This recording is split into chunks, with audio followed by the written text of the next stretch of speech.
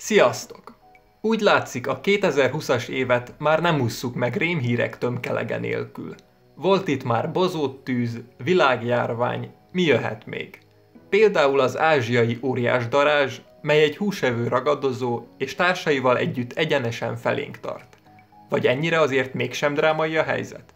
Mielőtt erre választ adnánk, írjátok meg kommentben, ti melyik állattól féltek a legjobban.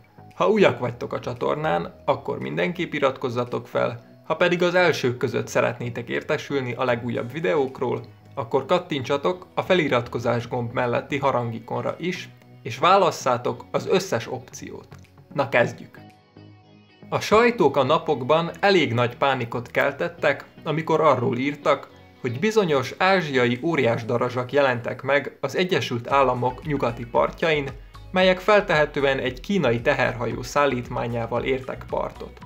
Na de miben különbözik ez a darázs az általunk ismert példányoktól? A legszembetűnőbb különbség a méretük. Az ázsiai óriás lódarázs tudományos nevén a Vespa mandarina testhossza ugyanis az 5,5 cm-t is elérheti. Ugyancsak jellemző ezekre a példányokra, hogy amellett, hogy igen agresszívak, csapatban szeretnek támadni. Egy csípésbe csak nagyon szerencsétlen esetben lehet belehalni, de ha valakit több szúrás ér, az már nagyobb eséllyel tud végzetes lenni, különösen ha valaki allergiás az anyagra. Na de jelentenek ők ránk bármilyen veszélyt itt a Kárpát-medencében? A hozzáértők szerint nem.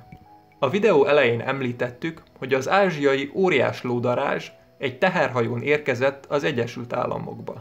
Ilyen módon, vagyis a különböző áruk mozgása által simán elképzelhető, hogy a faj Magyarországon is megjelenik majd, azonban félnünk még ebben az esetben sem kell. Akiknek viszont van félnivalójuk, azok a mézelő méhek, ugyanis ők a természetes ellenségeik ezeknek a darazsaknak.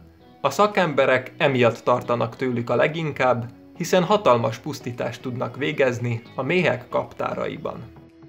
Érdekesség, hogy Magyarországon is honol egy darásfaj, mely hasonló méretekkel rendelkezik, mint az ázsiai, ez az úgynevezett óriás tőrös darázs.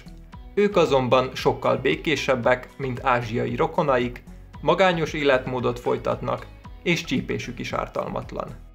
Végezetül tehát elmondható, hogy attól nem kell tartanunk, hogy óriás darazsak átveszik felettünk az irányítást, és új szakasz kezdődik az emberiség történetében, mindössze anyagi károktól kell tartania a méhészeknek, ha a faj esetleg felbukkanna a környékükön. Ezzel a videó végére értünk. Ha tetszett, nyomjatok egy lájkot, és iratkozzatok fel, ha még nem tettétek. Ennyi volt mára, találkozunk a következő videóban. Na sziasztok!